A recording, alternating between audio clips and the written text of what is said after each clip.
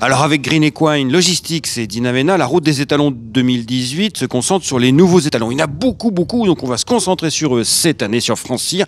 Et parmi les nouveaux étalons, il y a une vedette, il y a une star, l'incontournable. Regardez, on les découvre ici. Nous sommes au Haras des Tréants, c'est bien entendu Almanzor. Le voilà, le beau, le magnifique Almanzor, qui va débuter sa carrière d'étalon dans quelques jours, en fait, sa nouvelle carrière. Alors, on l'a applaudi, on on l'a admiré, Almanzor, en course. Il nous a beaucoup, beaucoup ému lors de ses victoires dans les prix du Jockey Club, dans l'Aris Champion Stakes. Bien sûr, cette fin de course extraordinaire où il a devant ses faunes. Et puis cette lutte merveilleuse aussi dans les Champion Stakes en Angleterre, où il a accompli un triplé de groupe 1 dans les trois grandes nations, principales nations des courses euh, en, Europe. Donc la France avec le Jockey Club, et puis l'Irlande, et puis l'Angleterre. Alors évidemment, il y a du monde malgré la pluie pour le, pour le regarder, pour l'admirer. Regardez ce groupe euh, de personnes ici qui. Oh, c'est pas, c'est pas une pluie extrêmement violente, mais enfin bon, ça n'empêche pas bien sûr les admirateurs de pouvoir voir un cheval qu'on a vu à travers les écrans de télévision et de le voir en vrai. Alors il y en a un qui le connaît par contre par cœur, je me faufiler à travers le monde,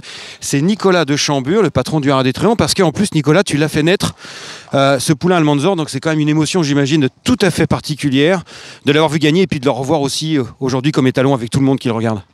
Bah, tout à fait, tout à fait. Euh, Arnaud euh, a bien résumé euh, la, situation. Non, non, on est très content de, l'avoir ici.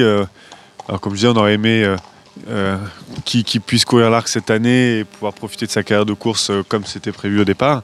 Mais, mais non, non, voilà, c'est une nouvelle page qui commence pour lui.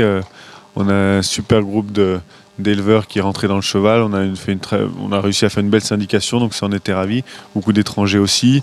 Et euh, voilà, son carnet de balles est, quasiment plein. Euh. Ah déjà, à 35 000 euros, il est déjà plein le carnet de balles. Oui, on en a parlé là récemment. Il y a un gros rat anglais qui, a, qui envoie plusieurs juments à, Almanzor d'ailleurs. Oui, c'est nouveau, hein, c'est un peu le monde à l'envers. oui, non, non, mais, mais c'est vrai que tous les, tous les étalonniers français le disent. C'est vrai qu'il y a une, une recrudescence là, des, des éleveurs étrangers pour le pour les étalons français, ce qui est, super.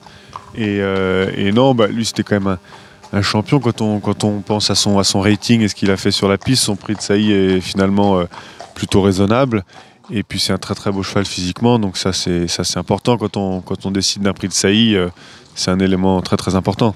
Alors justement, on va s'approcher un peu du cheval parce que le, public l'a vu avec une selle, avec un jockey, l'a vu au galop, mais pour une fois, on le voit arrêté. Hein, c'était rare chez Almanzor. Est-ce que tu peux nous parler un petit peu plus en détail de son physique?